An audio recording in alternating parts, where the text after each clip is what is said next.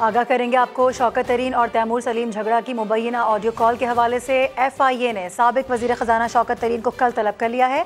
इसी हवाले से बात करेंगे आदिल तनोली हमारे साथ मौजूद हैं। आदिल, कल बुलाया गया है, क्या होने जा रहा है? हाँ जी, देखें सबक वज़ीर ख़जाना शौकत तरीन और तैमूर सलीम की जो ऑडियो लीक होने का मामला है, उस पर एफ़ आई ए की जानब से बाकायदा तौर पर तहकीक़ात का आगाज़ भी जरा की जानब से बताया गया है।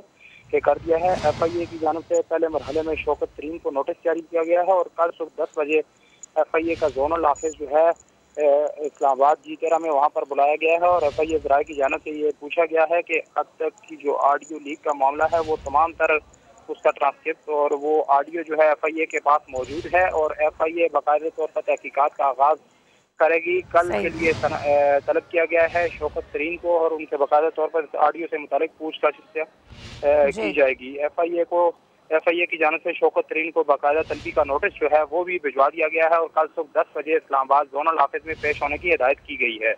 ठीक। अपडेट के लिए बेहद शुक्रिया आपका आदिल